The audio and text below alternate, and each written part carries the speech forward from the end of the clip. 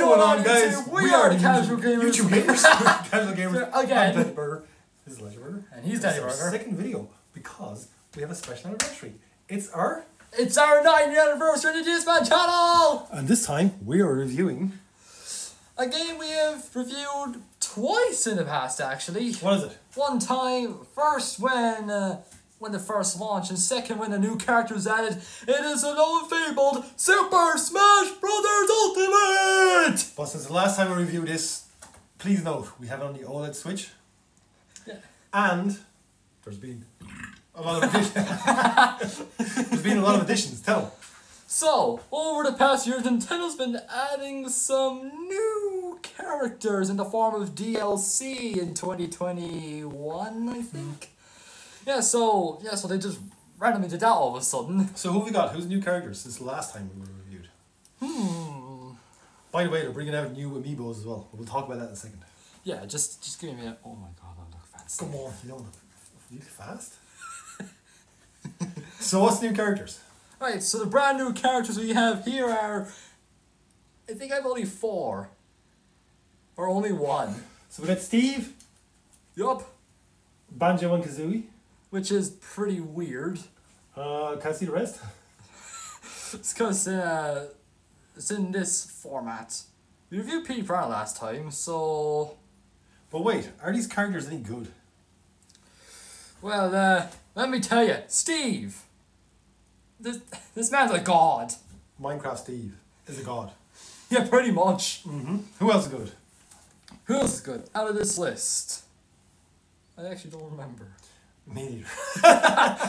Also, we didn't try Banjo Kazooie, sorry. Uh, Petey Piranha Plant is there as well, but he was a DLC exclusive when you ordered it online, I think, or something like that. Hmm.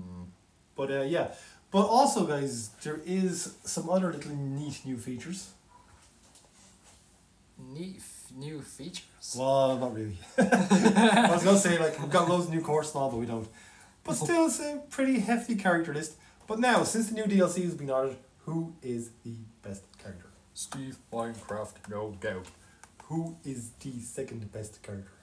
I've only played as Steve that entire DLC. Oh god, guys, we've been really rubbish at casual gaming lately.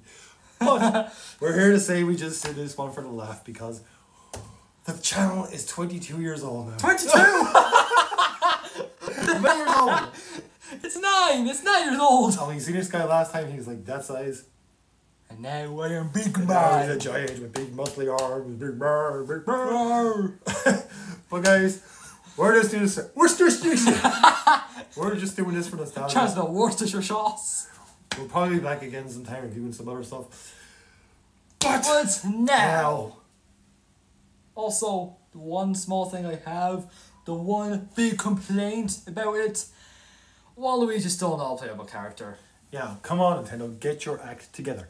So, with all the DLC, with all the add-ons, what would you give Super Smash Bros. out of ten? Hmm. What would I give this out of 10? I can't remember what I gave it the last time. Ten, I think. I think I would give I I don't know if I would give it a 10 nowadays. What would you give it? Maybe maybe just for Steve I give it a 10. But uh, compared to like MultiVersus and that other Rumble game, Smash Bros. still the best. Yeah, MultiVersus is just bad. It's got Shaggy and Batman. Why? Who knows? They just do.